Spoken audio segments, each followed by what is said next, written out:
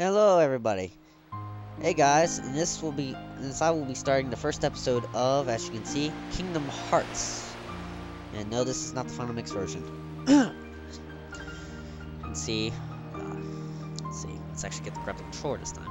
I'm starting the game. I'll actually do this on expert. Haven't done it. I'm actually never finished this game before. I don't know. Kind of got lazy near the end after, well, another boss. Let's see. On. Yes. Proceed. So, as usual. It's all basic stuff. And well, this will be the first my first LP actually using the capture card as when I was doing doing that Super Mario RP LP. I had been using it anyway. Um, okay, now I'm gonna start being quiet for the cutscene because it is quite quite awesome.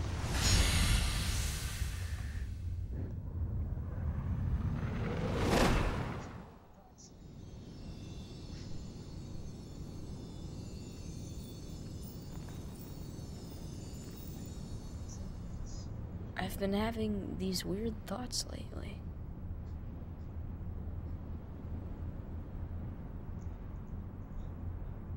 Like, is any of this for real? Or not?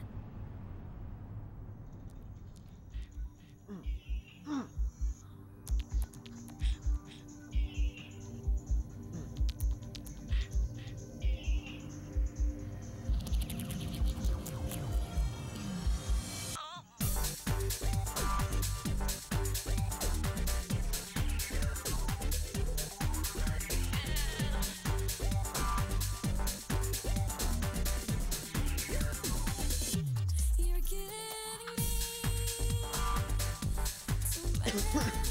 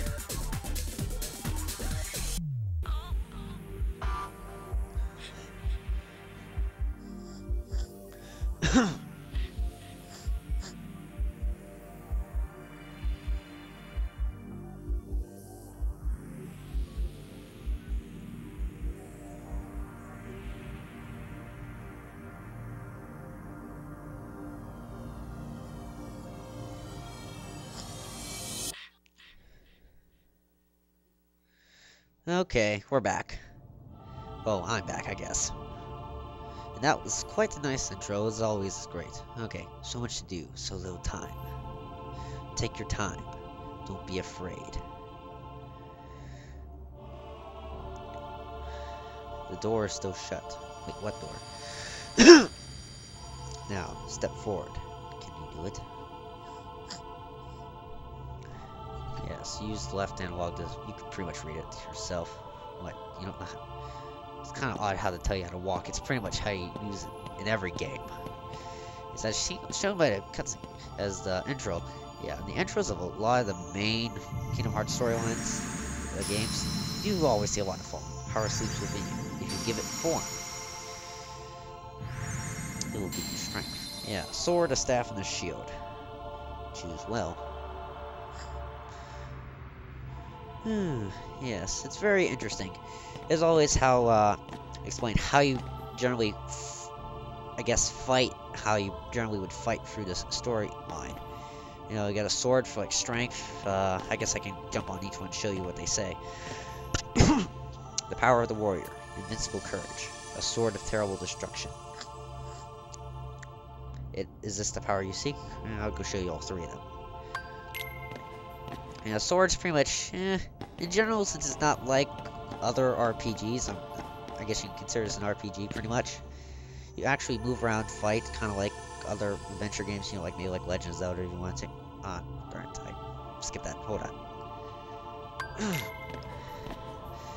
I probably won't get much done in this episode. The power of the Guardian.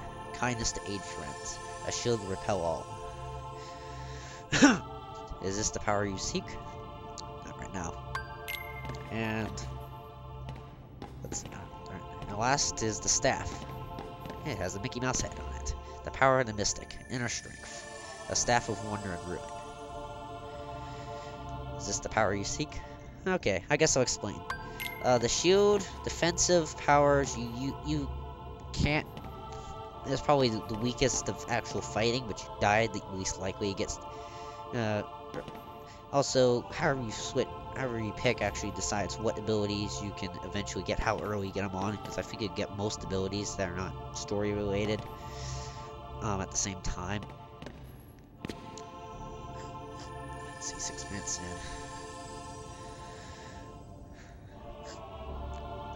I'm kind of nervous. I feel like my first real big LP. So yeah, platform still White on it. Let's see. Well, I want because I've always loved magic. It's generally one of my favorite things. I picked staff for the first thing, and I think I'll pick staff this time too.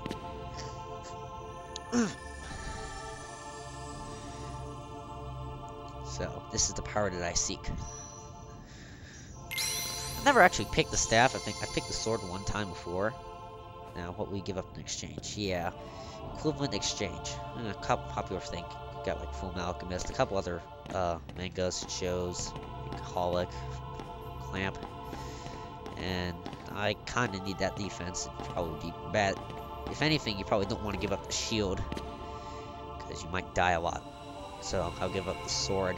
It just basically means I have fair defense, but I suck at whacking stuff with a sword or blade or whatever.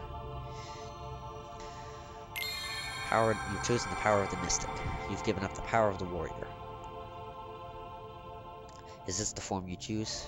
Yes, I guess I will. I've been wondering where this actually is. I don't know what they exactly call it. The safe uh, will eventually be introduced to. Yay, lots of falling. How many times do you think we can fall in this, in this game? I don't know. Might count about 10 or so in actual cutscene falling. Probably more. and that is Belle, I believe, from the Beauty. No, wait, that's Cinderella.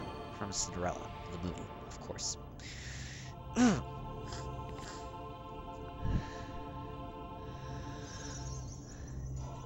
gain the power to fight. Ooh, we get the wax stuff with a, with a staff. He holds it kind of odd. Yeah, X attack. You don't actually use like a common fight. It's basically you. All right, you got it. Use X to like do a lot of interacting. Use this power to, to protect yourself and others. The green gauge, yes, that's usually shown HP or health. If you run out HP, you'll be taken to the continue screen. The blue gauge shows your magic points, MP. Just still magic still mystery to you. yeah, I'll show you the I'll show you what X does when we get down to the menu. They'll probably tell us more later. There will be times when you have to fight. You got little black things with strange yellow eyes. Let's see. Fighting's not difficult. It pretty much I don't know. I have to be more careful than I usually would be in a Kingdom Hearts game, considering I'm an expert. It can't be that hard. Ah, sorry, done. I need to kill all. Yeah, gain XP by defeating it. Not any XP points. With enough XP, uh, you will gain enough level. Furthermore, defeated enemies sometimes leave items behind. See, like that green orb there. It just appeared. You can take these items by walking up to them. Different items can do different things, like restore HP or MP.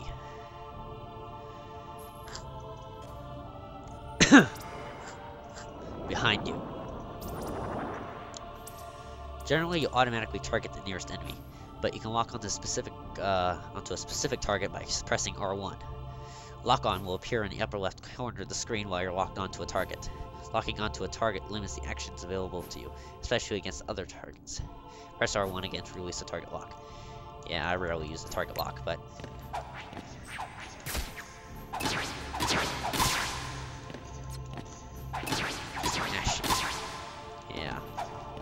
Especially if you choose, uh, mashing uh, X or whatever button it's set to a lot, unless kind of... Unless you...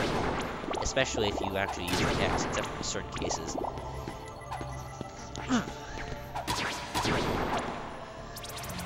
disappear into the shadows. Oh, Button is disappearing. No! I don't want to be consumed by the darkness. Ah! No. Ah! Ah! Oh. No. Now we're dead. So sorry. That's the end of the game. No, that's not the end of the game, you idiots. Might probably scream. Yeah, freaked him out a lot.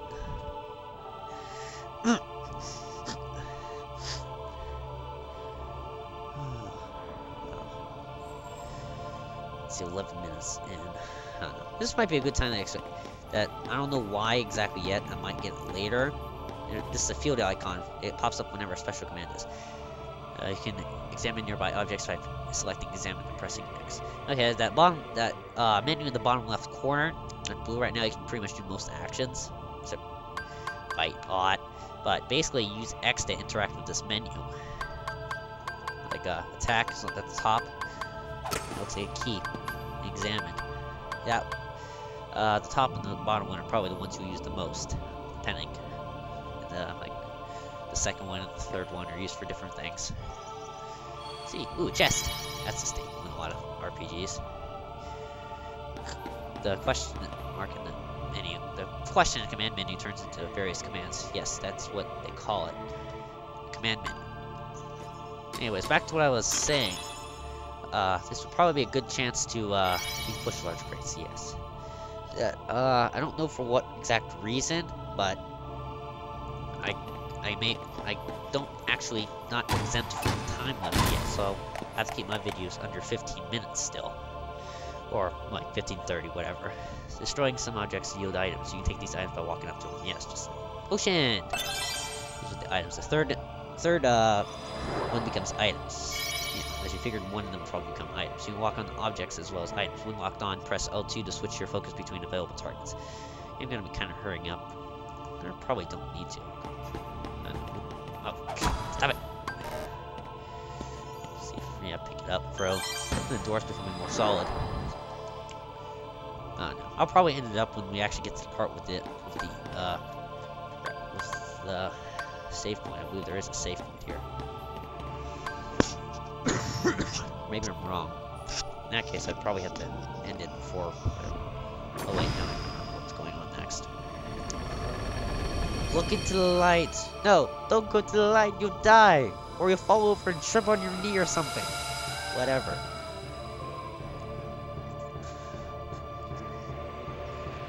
Huh? We're at a on a thing. You can see the ocean. Hold on, the door won't open just yet. First, tell me more about yourself.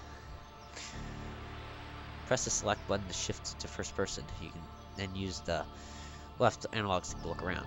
Press the select button to go the steering view again. Yeah, I I'll ever really look at this and use it. Maybe I might from searching.